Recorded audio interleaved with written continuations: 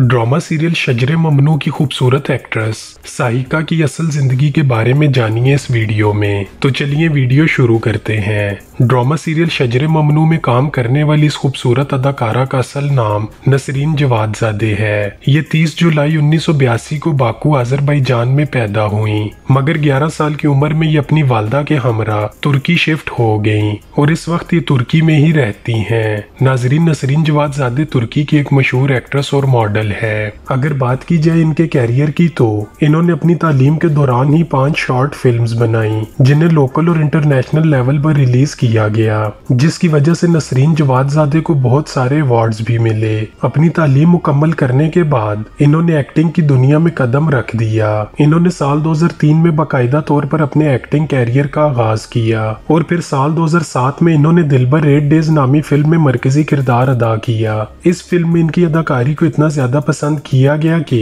इन्हें बेहतरीन अदाकारी के सबब मुख्तलिफ़ अवार्ड शोज़ में बेस्ट एक्ट्रेस के अवार्ड से नवाजा गया। इसके अलावा नसरीन जवादजादे बहुत सारे ड्रामों और फ़िल्मों में काम कर चुकी हैं। ये तुर्की के साथ साथ अमेरिका और स्पेन में भी काम कर चुकी हैं। इन्होंने अब तक 12 ड्रामों और 11 फ़िल्मों में काम किया है और अपनी लाजवाब अदाकारी के सबब 10 अवार्ड जीत चुकी हैं। अगर बात की जाए इनकी शादीशुदा ज़िंदगी के बारे में तो आपको बता देंगे नसरीन जवादजादे अभी तक सिंगल हैं। इनकी शादी अभी तक नहीं हुई।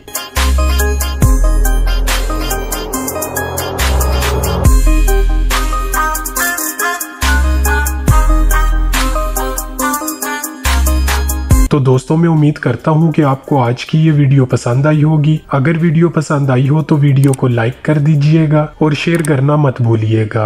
और अगर आप इस चैनल पर न्यू हैं तो चैनल को सब्सक्राइब भी कर दीजिएगा। मिलेंगे अगली वीडियो में, तब तक के लिए अल्लाह हाफिज।